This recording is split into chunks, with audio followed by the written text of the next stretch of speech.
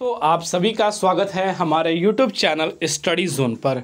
दोस्तों यूपी पाँच सौ पोस्ट की वैकेंसी को लेकर उम्मीदवार के लगातार कमेंट आ रहे हैं। उनकी यहाँ पर जो है वेटिंग लिस्ट को लेकर कि जो वेटिंग लिस्ट है वो कब तक जारी कर दी जाएगी और क्या जो वेटिंग लिस्ट है वो एक बार में पूरे उम्मीदवारों के लिए जारी की जाएगी या स्टेप बाय स्टेप जारी की जाएगी।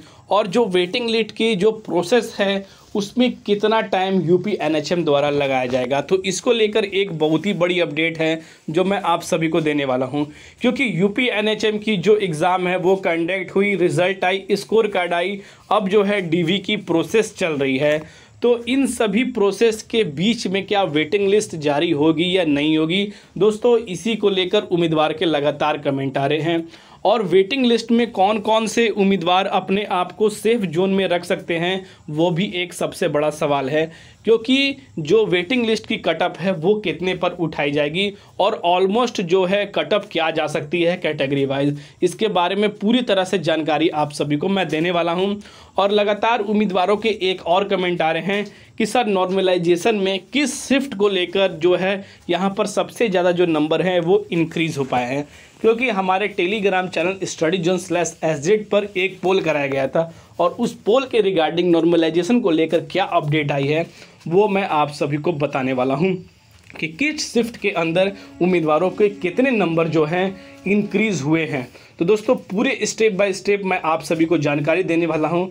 दोस्तों चैनल पर पहली बार विज़िट कर रहे हैं तो हमारे चैनल स्टडी जोन को ज़रूर सब्सक्राइब कर लीजिएगा, क्योंकि यूपी एनएचएम की कोई भी नई नोटिस हो या नई विज्ञप्ति हो, सारी अपडेट आपको इस चैनल के माध्यम से अपडेट किया जाता है। तो चलिए दोस्तों, पूरे प्रोसेस के बारे में हम आप सभी को स्टेप बाय स्टेप बताते हैं।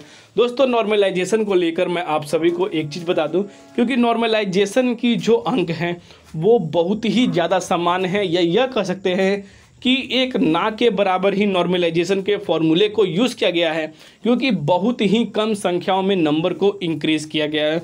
और ऑलमोस्ट जो नंबर इंक्रीज़ हुए हैं, वो यहाँ पर जो है सात तारीख की जो इवनिंग में पेपर था, उनके यहाँ पर जो इंक्रीज़ हुए हैं और एक या दो नंबर ही इंक्रीज़ हुए हैं। और ज़्यादा दोस्तों इंक्रीजिंग नहीं की गई है इस चीज़ को लेकर। तो नॉर्मलाइजेशन को लेकर जो उम्मीदवार चिंतित कर रहे थे, कि हो सकता था कि नॉर्मलाइजेशन के प्रोसेस से हमारी जो है कैटेगरी वाइज जो हमारी नंबर बढ़ेंगे तो वहाँ पर दोस्तों, उस चीज़ का जो वैल्यूएबल है, उम्मीदवारों को बिल्कुल ना के बराबर ही मिला है, या कुछ ही उम्मीदवारों के उन शिफ्टों के अंदर, उन पेपरों के अंदर उन्हें वो नंबर इंक्रीज़ की गई है। तो यहाँ पर दोस्तों, इन चीज़ों को आप बिल्कुल ही छोड़ दें। अब जो आपका फोकस है, वो है वेटिंग लिस्ट को लेकर कि वेटिंग लिस्ट कब तक जारी होगी।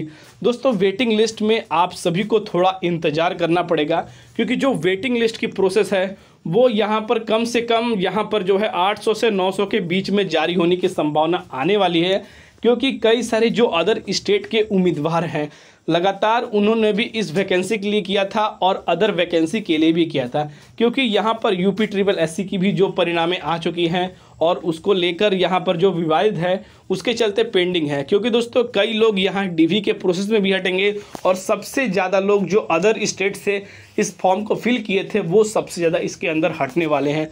तो यहाँ पर दोस्तों, उन प्रोसेसों में आप सभी को थोड़ा इंतज़ार करना पड़ेगा। पर दोस्तों, यह कंफर्मेशन है कि जो वेटिंग लिस्ट है, वो आप सभी के यहाँ पर जो है 800 से 900 के बीच में जारी होने की पूरी संभावना है। पर दोस्तों, एक बार ये पूरी वेटिंग लिस्ट नहीं जारी की जाएगी। स्टेप बाय स्टेप तीन राउंड के अंदर जारी होने की संभावना अभी तक की बताई जा रही है। दोस्तों, ये कोई कंफर्मेशन न्यूज़ नहीं है, जो हमारे सोर्सों के माने अपडेट आ रही है, उसके रिगार्डिंग आप सभी को यह इन्फॉर्मेशन दी जा रही है। और दोस्तों, जो इसकी प्रोसेस है, वो अभी उसमें दोस्तों, थोड़ा सा वक्त आप सभी को देने पड़ेगा, क्योंकि डीवी के बाद जो फाइनल लिस्ट जारी होगी उसके बाद ही यहाँ पर जो आगे की प्रोसेस उससे पता चलेगी। क्योंकि दोस्तों वेटिंग लिस्ट में उम्मीदवारों को कम से कम एक या दो महीने का समय लगेगा उनकी वेटिंग लिस्ट जारी होने में। तो दोस्तों वेटिंग लिस्ट को लेकर आप बिल्कुल ही चिंता ना करें, क्योंकि ऑलमोस्ट आप यह माने कि जो वेटिंग लिस्ट आप सभी की जारी होगी, वो दो हज़ार तेईस के अंडर जारी हो सकती है, जनवरी या फरवरी के बीच में। इससे पहले दोस्तों, जारी बिल्कुल ही नहीं होने वाली है। क्योंकि दोस्तों, संख्या आप सभी की वेटिंग लिस्ट की ज़रूरत बढ़ते हुए आएगी। और दोस्तों, आप सेफ़ कैटेगरी में वो रह सकते हैं जिनके यहाँ पर 40 से 45 अंक बन रहे हैं। वो यहाँ पर सेफ़ जोन में बिल्कुल ही रह सकते हैं।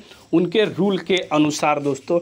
यानी कि दोस्तों वेटिंग लिस्ट यह कंफर्म है कि 40 से 45 जिनके नंबर बन रहे हैं, वही कैंडिडेट वेटिंग लिस्ट में आने वाले हैं। तो यहाँ पर दोस्तों, यह अपडेट निकल कर आ रही थी, जो आप सभी तक शेयर किया गया।